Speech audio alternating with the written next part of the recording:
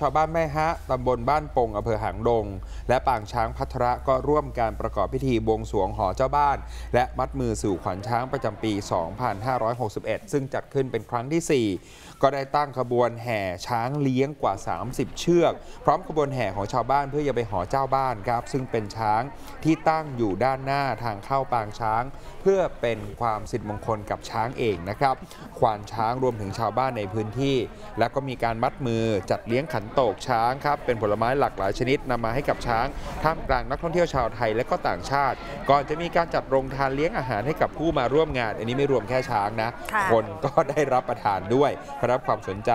ที่เห็นช้างจำนวนมากโดยเฉพาะลูกช้างที่เดินตามแม่ตลอดเวลา หลายคนก็เลยไม่พลาดที่จะถ่ายภาพเซลฟี่แล้วก็ไลฟ์สดงานวันนี้ ให้กับเพื่อนๆญาติๆให้ได้ชมกันเป็นเราเราไป แล้วก็ต้องถ่ายรูปนะใช่ช้างเป็นสัตว์ที่น่ารักมากๆเลยนะคะใช่นะครับอะปิด